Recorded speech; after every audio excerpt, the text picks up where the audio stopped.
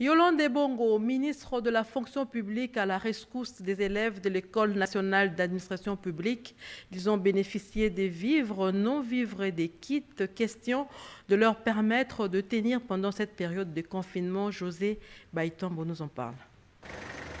Très sensible aux cris de détresse lui lancés par les élèves de l'École nationale d'administration venus de toutes les provinces du pays et internés à l'INPES, Yolande Bongo Songo n'a pas un seul instant hésité de venir à la rescousse de ces jeunes qui passent de moments assez difficiles. Avec un cœur de mère, elle pose un acte de générosité à l'endroit de ces énarques en réponse à l'appel du chef de l'État, Félix Antoine Tshisekedi Chilombo, de sacs de riz, sucre, farine, maïs, des bidons d'huile végétale, de boîtes de lait, sacs de braise, bref, de quoi tenir en ces temps de confinement. Je peux ne pas avoir tout ce dont vous avez besoin, mais le peu que j'ai, je me dis, je le partage avec vous, vous êtes mes enfants. Le contexte budgétaire est très difficile, vous le savez aussi, mais cela ne peut pas m'empêcher de continuer à poser quelques actes de mère envers ces enfants. De gestes salués par ses élèves de promotion, Fleuve Congo et Etienne Tshisekedi, qui n'ont pas tari de loge à l'endroit de leur bienfaitrice. Ce signe,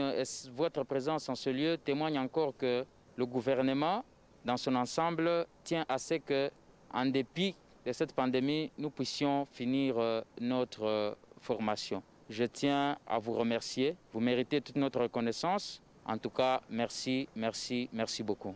L'occasion était toute indiquée pour le ministre de la fonction publique de sensibiliser ses énarques sur le geste barrière. Question de lutter efficacement contre Covid-19. Sinon que Yolande Bongo Bosongo promet de poser ce même acte pour ceux élèves qui habitent en dehors de l'internat de l'INPES.